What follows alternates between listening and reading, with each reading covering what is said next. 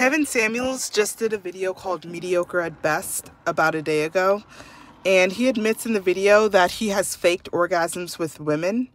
This was during a um, this was during a statement where he admitted that he has found um, some women's, I guess, box or vagina, whatever you want to say, to be trash. He used the word trash, and that sometimes he he fakes an orgasm in his words just to get up out of there. And I just want to I just want to ask um, and I'm going to leave the um, I'm sorry. I'm going to leave the the timestamp in the description box at the bottom. But I just want to ask what else do you guys need? What else do you need? What else do you need to be told or to see about this man to make you accept that this is not a man who you should be listening to about what is attractive about women to a straight man. And I'm talking to women. Men, you can believe whatever you want to believe. I really don't care. Um, you guys are going to either peep what is really going on or you're not. Either way, your status is going to be your status because if you're a low quality man, you're a low quality man. High quality man, you're a high quality man. Anything in between, listening to Kevin is not going to change that. So I really don't care what you guys do. I'm talking to women. What else do you need? First of all, we already know as women, when men start going on about women's box being trash and this and that, that's already a red flag that this is probably not a man who's into women men generally, first of all, men with dignity and good behavior and civility don't talk like that, period. But for some reason in the black community, it's okay to talk like this.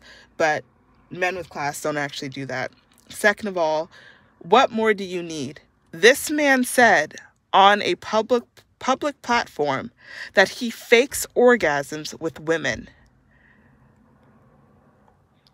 This is a man that you want to listen to about what straight men find attractive about women. Really. This is a man who does not get spotted with women and makes excuses about why. Why are you listening to this man? Why? What do you get from it? What do you get from calling in? What do you get from dealing with a man who is clearly does not take much interest in um, in women?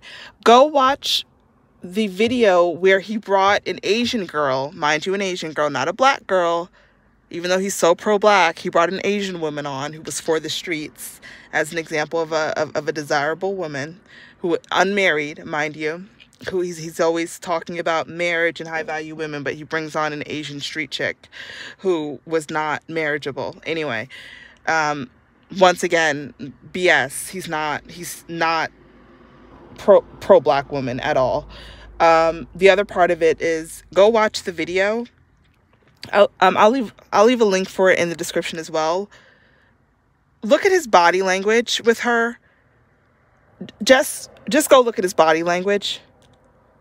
And you tell me what you're seeing when you go look at his body language with an attractive and, and she is physically attractive with a physically attractive woman. You tell me if that's a man who is accustomed to seducing, dating, and having sex with women.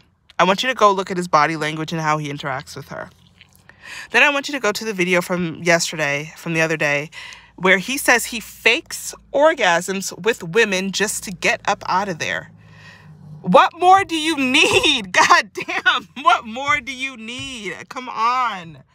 This is a man you're listening to about straight men. Ladies, get it together.